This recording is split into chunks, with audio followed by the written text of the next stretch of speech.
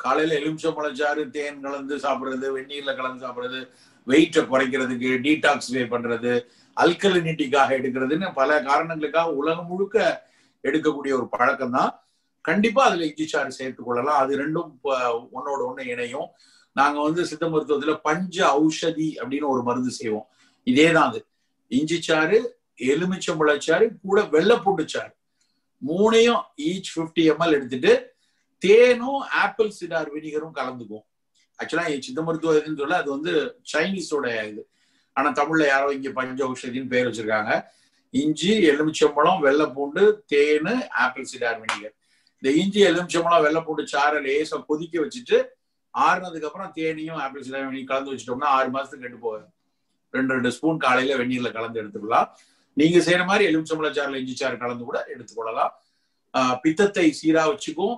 இதயத்துக்கு நல்லது எதிர்பார்த்தலை நன்கு